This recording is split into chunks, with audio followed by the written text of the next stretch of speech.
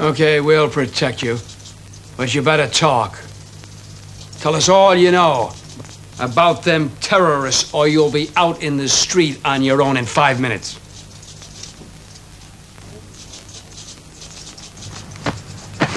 Talk, you son of a bitch! You hear me?